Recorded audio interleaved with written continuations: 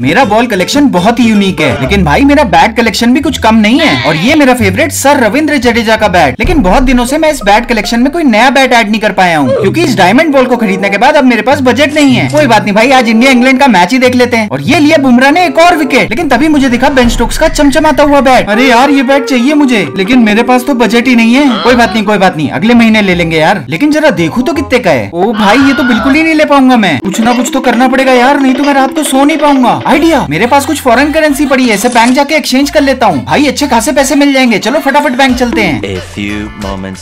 भाई ये तो कुछ ज़्यादा ही पैसे मिल गए। फिर मैंने फटाफट बेंच स्टोक्स का बैट ऑर्डर कर दिया और गाइज़ आ गया है हमारा बैट तो चलो गाइज़ फटाफट इस बैट को अनबॉक्स करते हैं। और अगर आपको ये बैट पसंद आए तो इस वीडियो को लाइक करना मत भूलना। तो गाइस ये है बेंच स्टोक्स के बैट का रेप्लिका जीएम एपेक्स